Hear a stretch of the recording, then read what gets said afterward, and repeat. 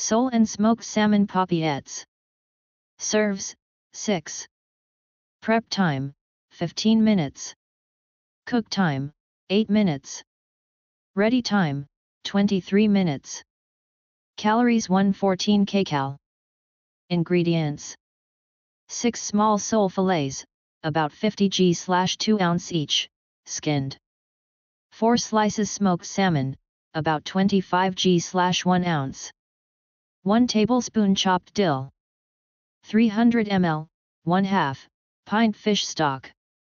300 ml, 1 half, pint herb and lemon sauce, see right, optional. 50 g 2 ounce cooked, peeled prawns. Salt and pepper. To garnish.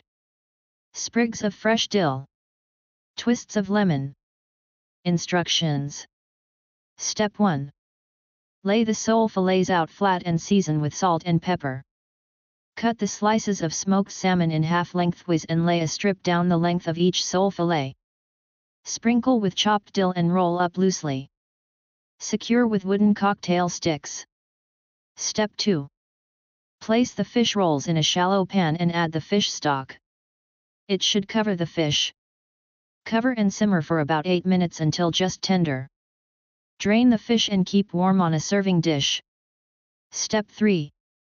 Spoon 4 tablespoons of the fish cooking liquid into a small pan and boil quickly over a high heat until reduced to about 1 tablespoon. Step 4. Stir the herb and lemon sauce, if using, and the prawns into the reduced cooking liquid and heat through gently. Spoon the sauce evenly over the fish paupiettes and garnish with sprigs of fresh dill and twists of lemon.